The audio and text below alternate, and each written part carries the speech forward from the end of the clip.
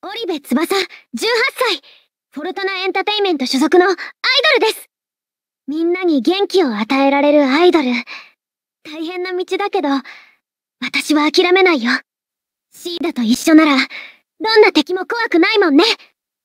歌、踊り、演技。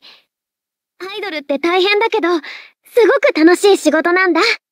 異界の私、ちょっとおしゃべりしてみたいわね。あおああ、今ね、猫さんとおしゃべりしてたんだ。うわあび、びっくりした。